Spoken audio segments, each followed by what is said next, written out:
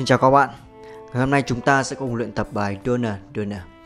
Đây là bản nhạc viết ở gam thứ với giai điệu và ca từ đều mang theo nỗi buồn.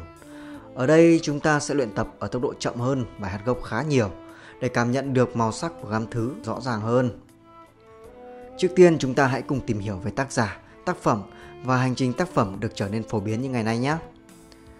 Khoảng nửa sau của thế kỷ 20, ở trong nước ta xuất hiện nhiều những bài hát được viết dựa trên giai điệu của những bài hát đã nổi tiếng ở trên thế giới. Có rất nhiều bài hát đã thành công và vẫn còn một lượng lớn người nghe cho tới tận ngày nay.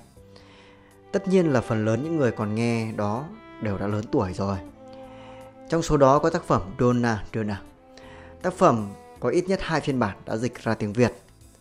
Ở nước ta có một thời gian dài, ca từ và giai điệu của bài hát này được cho là có nguồn gốc từ tiếng Pháp có thể là do người Pháp đã ở nước ta trong một thời gian dài. Có thể là do bài hát tiếng Pháp đang rất thành công vào thời điểm đó. Có thể là do thiếu thông tin. Hiện tại thì chúng ta chỉ cần lên Google và Wikipedia là đã biết được rõ nguồn gốc rồi. Bản nhạc gốc có tên là Dana Dana, được viết bằng tiếng Do Thái, trích từ trong vở nhạc kịch Esther.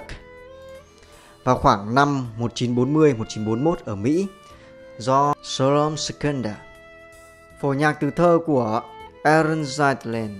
Cả hai đều là người Do Thái. Solomon Sekunda đã từng học tại Viện Nghệ thuật âm nhạc ở thành phố New York. Đây là tiền thân của trường Juilliard. Ngôi trường đã đào tạo ra rất nhiều nghệ sĩ violin nổi tiếng như Dorothy Delight, Isaac Perlman, Pinchas Zuckerman. Cũng giống như Sekunda, Aaron Zeitland là một người Do Thái phải định cư tại New York do Thế chiến thứ hai Ông đã viết phần lời cho tác phẩm kể về tâm sự của một chú bê đang trên đường bị đem ra chợ bán, qua đó thể hiện những ước vọng tự do. Các bạn để ý là âm nhạc thời loạn lạc sẽ không được phóng khoáng như âm nhạc thời hiện đại. Các tác giả phải sử dụng các hình tượng để thể hiện nguyện ước và tư tưởng. So sánh với âm nhạc hiện đại, các bạn có thể thấy rõ được sự tương phản.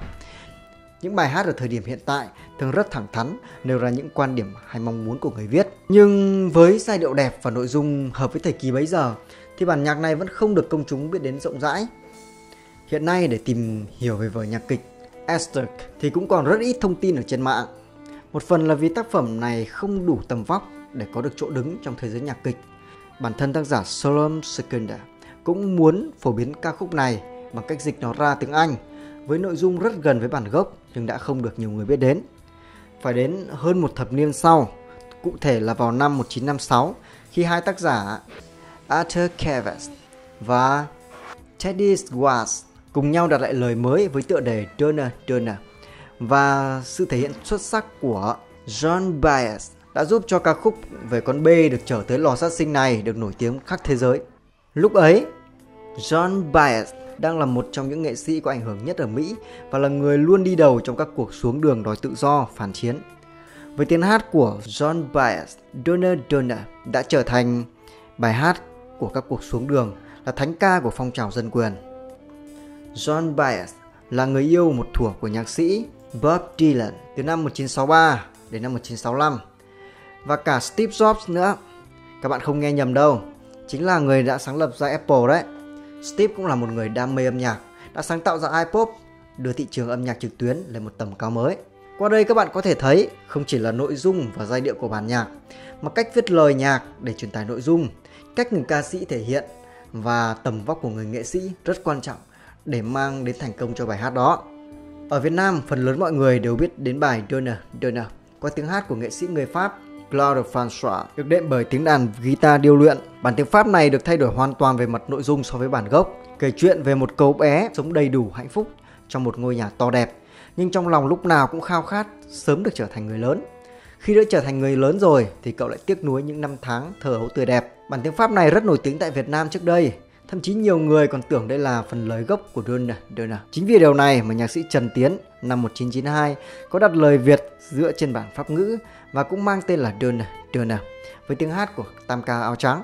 Còn một bản Việt ngữ khác của Donna Donna có tên gọi là Tiếc thương. Đây là phần lời của Tuấn Dũng với nội dung khác hoàn toàn so với bản gốc và cả bản tiếng Pháp. Phần lời này nói về tâm sự của một chàng trai trước cái chết của người yêu. Bài hát này một thời cũng được rất được yêu thích. Hy vọng là qua những câu chuyện trên đây, các bạn đã phần nào hiểu thêm về tác phẩm và có thêm những ý tưởng để chơi nó được hay hơn. Nếu các bạn thực sự thích và muốn chơi nó thì hãy mua giáo trình Passport nhé. trong đó còn nói kỹ hơn về cách luyện tập cùng bản nhạc và nhạc đệm để các bạn luyện tập được thuận tiện hơn. Clip của chúng ta kết thúc ở đây. Cảm ơn các bạn.